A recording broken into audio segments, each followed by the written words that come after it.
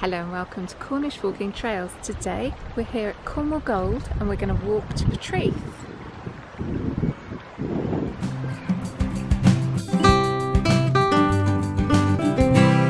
Same thing then. We're here to continue our Cornwall on a budget theme. The results of our poll this month suggested that you would be happy to spend somewhere between 10 and 25 pounds per head for a day out. So let's see what Cornwall Gold has to offer. Cornwall Gold is about two miles from Portreath on the north coast of Cornwall. It's celebrating everything to do with tin streaming.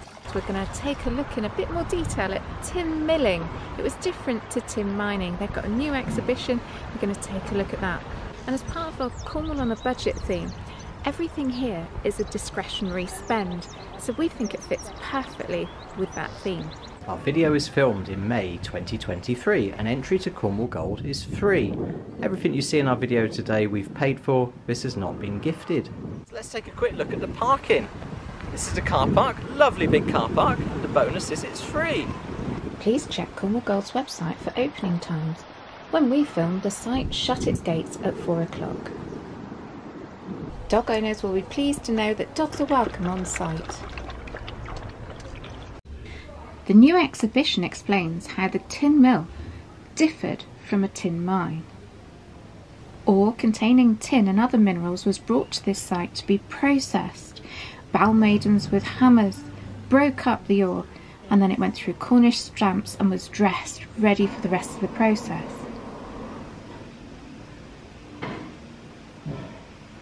This is the new exhibition. It celebrates everything about Cornish tin streaming. You've got a shaking table. You've got how they actually got the minerals from here to there, and it explains it all. You've got some Cornish stamps down in the corner. You, it, it, it's fantastic. There's notice boards that you can read and find out all the information. And this above me lays a, a plan of all the local mines in the area on the floor under your feet. Quite fascinating. If you visit Camborne and Redruth area of Cornwall, this is what's under your feet. This Oh. is a representation of all the mines in the area. There's hundreds of them. there is, isn't there? And all of the lines, the horizontal lines, are where they dug out the ore. Wow. Gosh. It's just brilliant. And my favourite is in the corner. We have a mock up of what the mine would have been like, or the, the mill would have been like in 1865. You've got the old wagon there on rails. It's just so good. The new exhibition also celebrates the role of women at the mill. Ore from local mines was brought here to be broken by hand by bal maidens. They used hammers to smash the rocks until they were small enough to go into the Cornish stamps. It's said bal maidens had muscles like men. Bal maidens. Interview with Minnie Daniels. She was a Tolgus bal maiden. Press the button. Yes, I've done that. Paris stones. load of uh, stone, and then you have a long hilt thing around of say. And, This is a uh, recording made of Minnie Daniels, who was a bal maiden here at Tolgus Tin. She was 102 when the interview was recorded, and she recalls the days spent here working as a bal maiden. and uh, break up these stones, and then after we do a, a lot of that, you know, we used to put it one side and then throw these stones was made for the roads. What did you wear? Because I suppose you were working Oh, indoors. We used to make a towser, what they used to call a towser, a apron up against three with a bit of string put around it. So you wear these Hessian Yes. trousers. Yeah, tow- towser. Towser. Tie it around your waist. And that there, well, see, that's to keep your clothes clean. What do you think? Brilliant!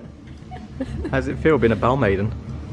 Well, I think I ought to go and get a hammer, don't you? Yeah, Muscles like a man. could have a smashing time. There's a large cafe called the Cornish Pantry, offering breakfasts, light snacks, and cakes. What have you gone for? Breakfast on a shovel, a big one. They do a gluten free one. You've gone for that? I have. Brilliant. I'm really excited about this, like a child. Should be great. Yeah. We first heard about this breakfast on a shovel. Well, we first saw it on the Instagram page for Cornwall Gold, and ever since, Andrew has hankered after one. So today's the day. that is so cool. Oh, I love it. Gluten-free breakfast. Oh, yum. So for my gluten-free, I've got a hash brown, gluten-free bread, mushroom, fried egg, bit of tomato, bacon, and hog's pudding. Mine's a small. Yours Mine's- is a large. Mine's a large. Look at mine. I will. I'm coming. Yeah. Look. So I've got some So- beans, Yeah. I've two rashers of bacon, I've got a couple of sausages there, hog's pudding, lovely, Yeah, toast bread, hash browns, yeah. Oh, mushrooms, look at that. fried tomato. And it didn't take long, did it? It looks great, and I've got a shovel to take home. I'm going to preempt the comments. What's that? Well, I'm going to answer that question that people are going to ask. What's the question? How tricky is it to eat off a shovel? It's quite good, It's, isn't it? it's relatively easy, It isn't is, it? isn't it? It doesn't slide around. It's lovely and warm. It's nice and hot, isn't it? You seem to be enjoying that, Sarah. Can't believe I'm eating off a shovel. It's a first for everything, isn't there? But it's delicious. Very good. There we go. Shoveling it in. Last bite. Very, very nice. It was, wasn't it? Mm. Well, Right, I'm off. So, one of the really unique, wonderful things about Cornwall Gold is that we have the old Tolgus Tin streaming works here. It's a museum and we're going to go in there now and show you all about how tin was extracted from the local stream, hence it was called tin streaming.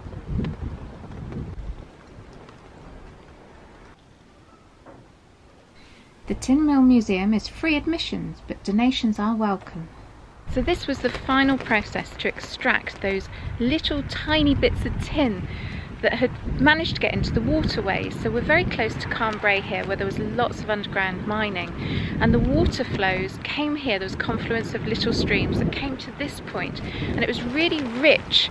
The, the kind of silt was really rich in tin. So this is the final process where they extracted those last little bits of tin and it worked really well. It's quite breezy today, can't wait to get inside. Oh, it's dark. So we have a quick map of the mill. So we're here. And there's various things we can see. A smelting shop, slime pits. So this is where the actual slime ran through these troughs and the last bit of tin was extracted. And up here, shaking tables. That was another method of extracting the tin from the slime.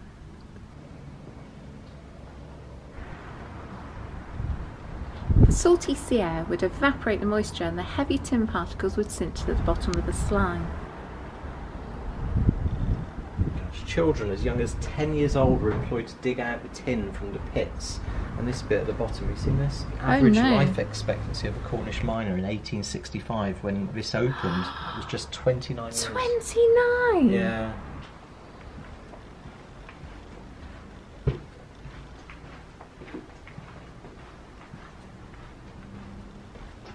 So this shaking table would vibrate, and the slime, the mixture of salt and water, shook its way across the table, and the ore would sit against the. Can you see the lines? Shaking tables, as the name suggests, vibrated in such a way as to separate a variety of sands, comprised of crushed rocks, into three outcomes. The good stuff was heavy and stayed on the table, the waste was lightweight and rinsed off. The third kind was a middling version, which might make the grade after further work. It's kind of special for me because I know that a member of my family, my Uncle Willie in the 1880s or whatever, he worked down here and he extracted tin from what was left, what was dripping out of the mines locally. Here we've got a set of Cornish stamps. So the cogs on that circular wheel, axle in the middle, would lift the black, I don't know if you can make it out, the black wooden rods, and they would come down with the full weight and crush stones of ore, rocks and stuff like that until they were the right size to go through the rest of the process. Cornish stamps were eh, they were taken all over the world to do the same process until they were outdated when the Californian stamps took over. But that's a whole different story. These stamps at Tolgus are the last original working example in the world and are a listed monument. The lovely thing is that the tin that they can extract today is still used in the jewellery production here.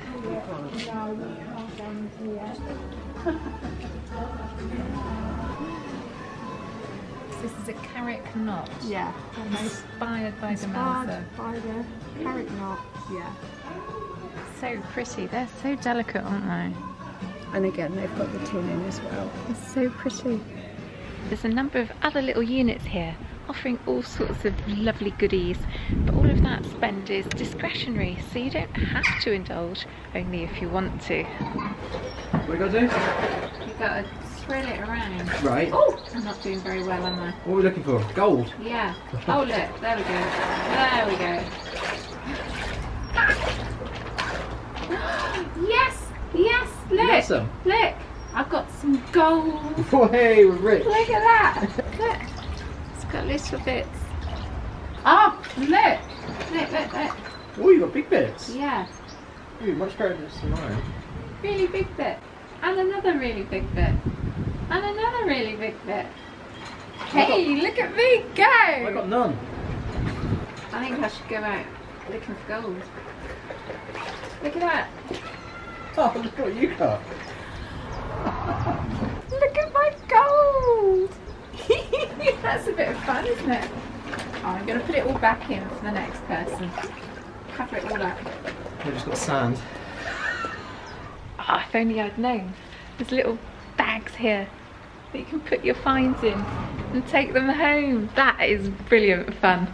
Really enjoyed that, especially as I beat Andrew. Yay! So after that breakfast, we have got to walk that off. We're going to follow the tram trail from here to Portreath. It's about a couple of miles. So let's get going.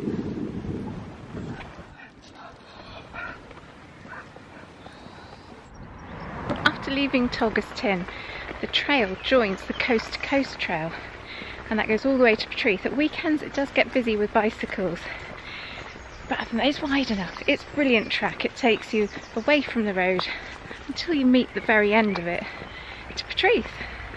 So this walk's about two miles down to Portreath. It's going to be a there and back. I think we'll probably end the video when we're down in, in Portreath. Yeah. Um, so I was doing some research last night, so I was going through our old books, and I found a story about Portreath that you don't know about, and I think it will make you smile. Oh, look forward to that then. Let's get going.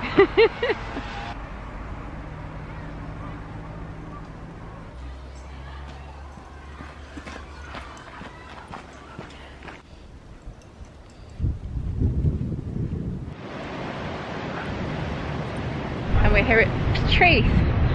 Tide's in today, beach is quite small, quite a swell because we've got that northerly coming straight on shore at us, looking amazing.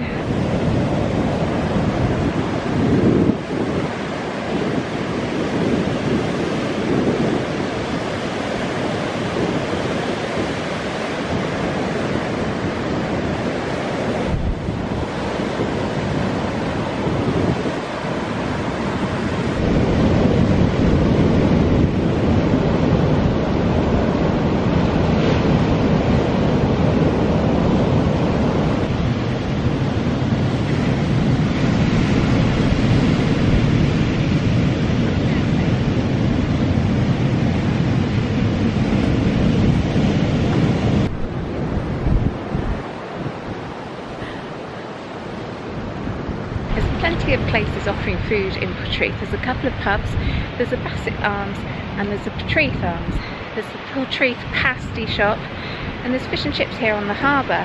There's also the waterfront and in the evenings the Chinese restaurant. Don't know if I've covered them all. Anyway, you've got lots of choices what I'm saying. So if you didn't want an all day breakfast, you could get a snack or a meal here.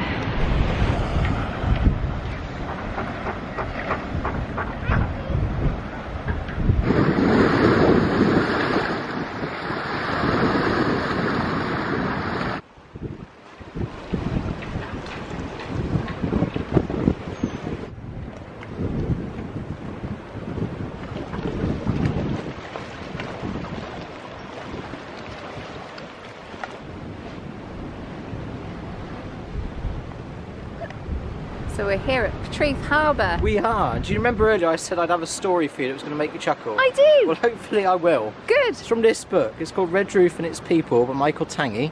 Okay. It's from 1988. Lovely book. It's all about Redruth and its people. Never. Yes. So what have you got for me then? Right, imagine the scene. 1872. Yes. You're sat here. This is about Portreath and the docks. Okay. Okay, and it goes like this. Visitors promenading the quay in Portreath complained very greatly.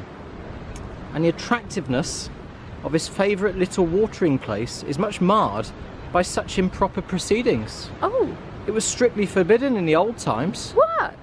Respectively dressed men and women were watching the antics of a perfectly nude man in the water, No. and they seemed to enjoy it immensely, especially when he floated on his back. There we go. Do you like that? Ah. So that's the story about Portreath nude bathing. Very good. I do like go. that. I must have a look a minute. Hang on.